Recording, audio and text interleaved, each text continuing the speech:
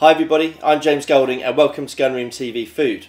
So today we're going to be cooking partridge.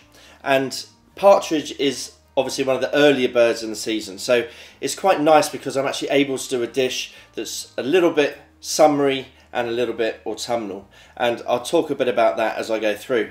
So for this dish we're going to need obviously some partridge breast, uh, some apples, we've got some lovely radishes, rocket salad, pancetta, egg, and if you can get them or if you want to order them, one of these most incredible black truffles from Meon Valley Truffle. Um, we won't be using all this truffle, this is a particularly large one, but um, we'll talk about these and why they're so incredible later on. So to begin with, we need to get a few bits working. The pancetta is going to be served crispy, so what I'm going to do is get this on now and get it crisping up while we're prepping the other bits. I've got a non-stick pan here on a low heat. I'm going to add in a small amount of cold pressed rapeseed oil and that's just really to get it going and then add in our pancetta and we want this to cook quite slowly. I don't want to fry this too heavily because it will burn and go bitter so just let it sort of tick over while you're prepping the other bits. The next job is to get our apple sauce on. Now you can use Bramley apples. Um, I quite like to use eating apples. So these are just some uh, Braeburn apples which um, I think work quite well with this. Uh, we're not making a sweet apple sauce but because we're using eaters uh, you'll find that you do get a natural amount of, of sugar in it. So I'm going to peel these guys down.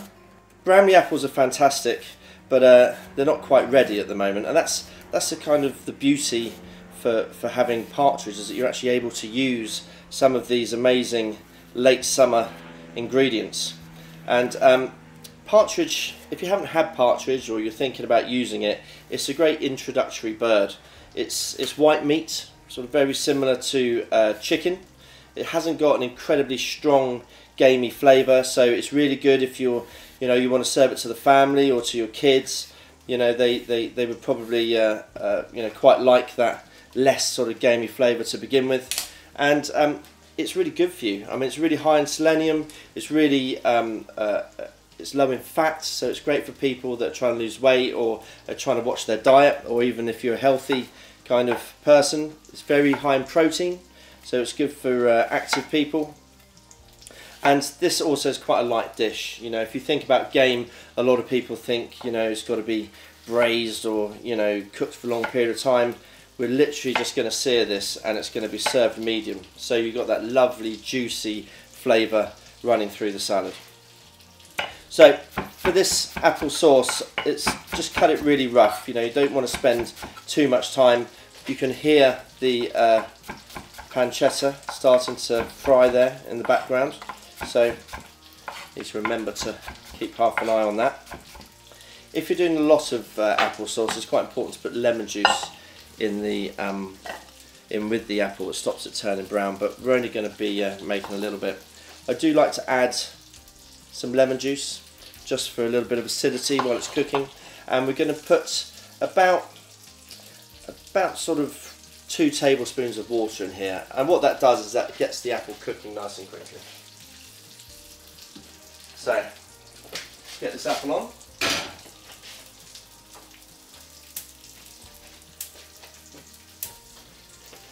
There we go. So medium to high heat on the apple.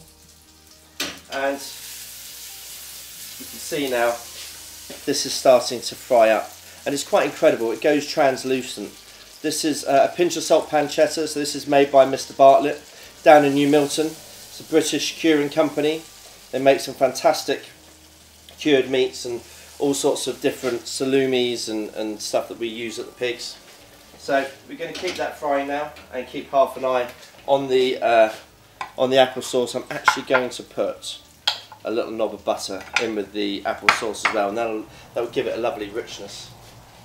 So I'm going to add that in.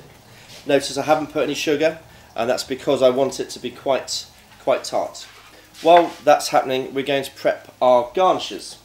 So like I said before we've got some radishes you can use all different types of radish, all different types of colours. You can use torpedo radishes, whatever you'd like. It adds a nice pepperiness to the dish, but also a lovely bit of colour. And I'm actually using a truffle shaver for this job. Now you can use a mandolin or if you're very skilled you can use a knife. But basically you want to get it as thin as possible without cutting the ends of your fingers off. And um, once you've shaved these radishes we're going to put some nice cold water on and what that does is it makes them lovely and translucent. So those are the radishes done.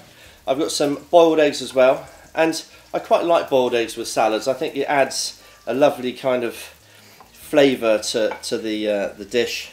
And I've just cooked these for about six minutes.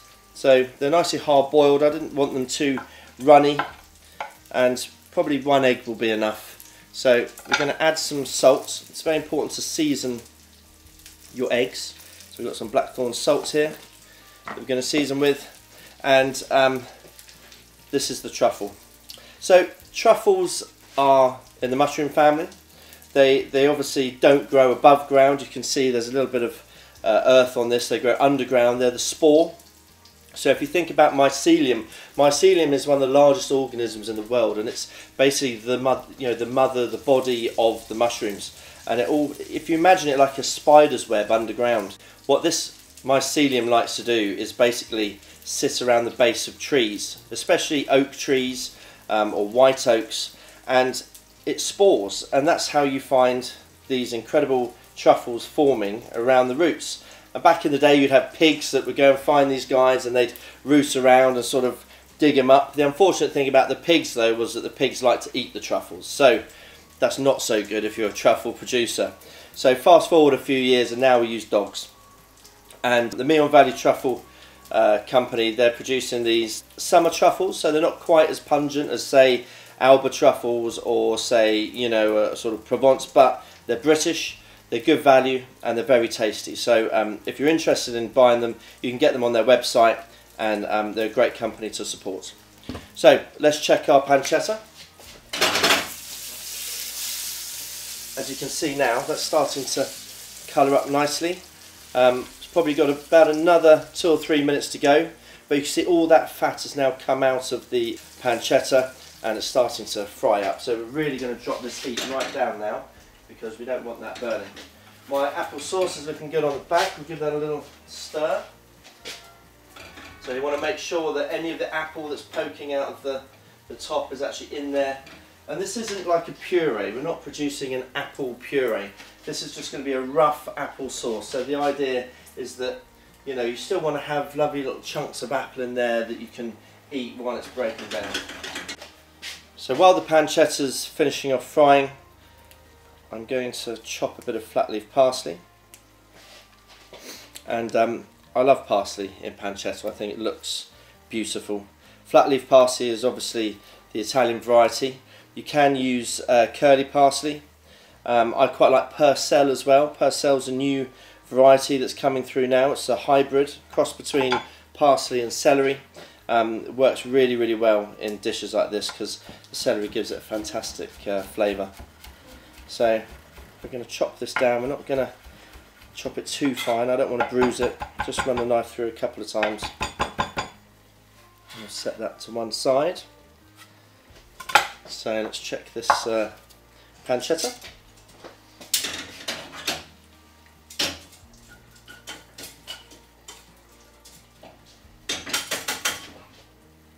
Okay, pancetta is now lovely and golden brown.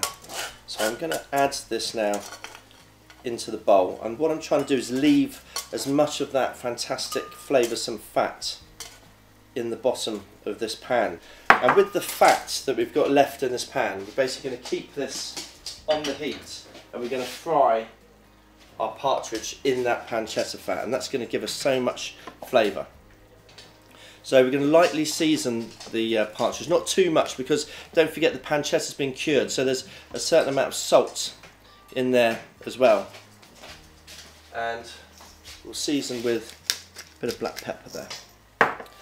So let's get this nice and hot. Bring that back up to temperature and cook our partridge. Now we're going to be cooking this partridge all the way in the pan. We're not going to put it in the oven. What we want is to get a lovely colour on all sides of this partridge and then we're going to let it rest. So, there we go. So that's the sound. There we go, as it starts to fry. So we're going to get a, get a really good colour on the uh, skin side first, and then we're going to flip it over and let that continue cooking. So let's check our apples while we're waiting for that. As you can see, they're still, still got a good form. We're going to keep those cooking down. They will eventually break down. I'm going to add a bit more water to those and keep those cooking. So our truffle. So the truffle, as you can see inside, it's, it's, it's a sort of lighter colour and that's how you tell the difference between a summer truffle and uh, say a Perigord truffle. So the Perigord truffle will be black in the middle and these guys are slightly lighter. The smell though is, is very similar. These guys tend to be a bit more earthy but you still get that lovely truffle smell in there. So what I tend to do is get a nail brush, just give it a good old uh, scrub, make sure you get any um, bits of dirt out from the crevices and um, you're good to go. So that's ready to go when we plate up.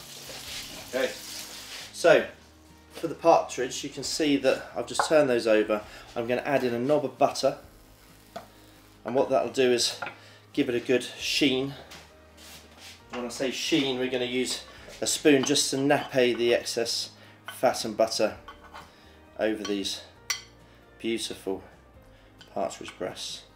We don't want to serve these red hot. We basically want them to be kind of room temperature. So leave them in the pan, let them rest, which will mean that they'll soften up, that will allow all those tight muscle fibres to just relax a little bit. So when we carve them, all those juices stay in the breast of the partridge. The apple sauce started to come together now. You see we just crushed this down. I'm also going to add in some butter and what that does is that basically brings it all together. So there's excess liquids that you've got, that butter will make it all nice and thick and, and basically give us a bit more body to the sauce. Okay, it's time to plate up our dish. So we're going to begin with our apple puree or apple sauce. And this is just going to go straight in the middle of the plate. Try to sort of drain off any excess liquid because we don't want that all over the plate.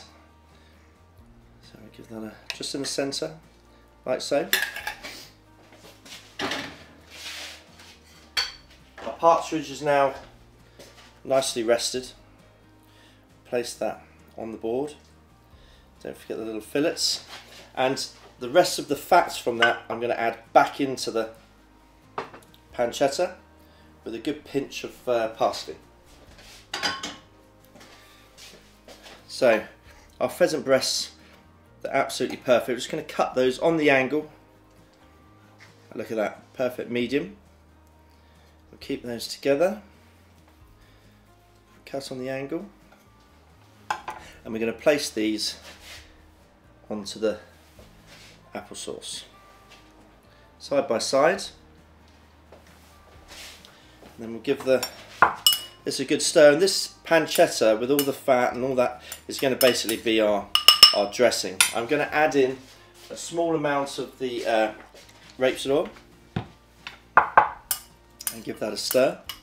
We're going to place some of our egg on the dish.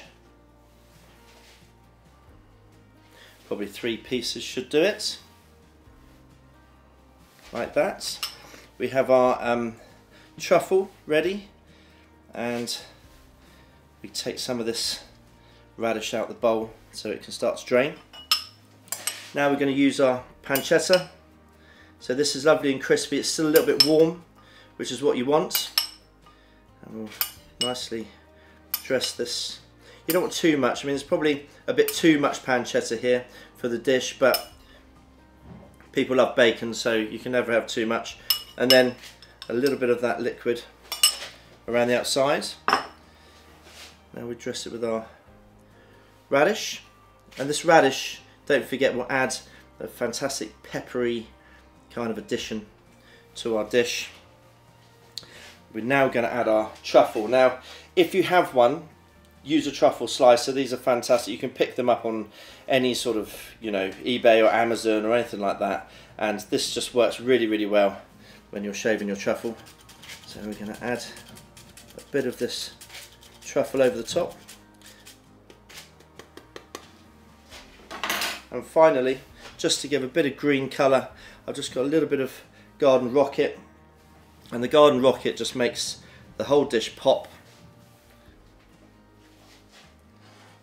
and then a little bit, of, bit more oil just to lighten it up. And there we go, we have our roasted partridge with uh, egg, radishes, bit of pancetta and finished off with Meon Valley truffle.